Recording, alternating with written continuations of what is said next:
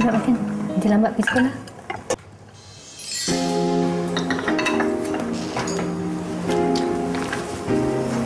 Maya. Baik.